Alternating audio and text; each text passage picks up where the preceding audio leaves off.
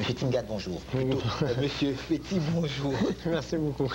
Parlez-moi un peu de, votre groupe. Alors, le groupe a vu le jour, là, c'est dans, une fête bien québécoise, le 24 juin, en 91. Ah, depuis ce temps-là, on a continué à faire du chemin. Et notre dernier spectacle, on l'a donné au musée de la civilisation à Hull. Oui. Alors, le groupe un peu reflète la mosaïque de la musique algérienne, en partant de l'ouest un peu avec le rail, qui est une musique qui a beaucoup de succès à Montréal. Et puis on s'en va un peu vers le centre avec de la musique berbère, de mhm. Kabylie. Et puis nous avons aussi euh, de ce qu'on a une musique qui est bien traditionnelle. Euh, on appelle ça de la zorna. C'est une musique qui se joue beaucoup dans les mariages, dans les baptêmes, dans les fêtes en particulier.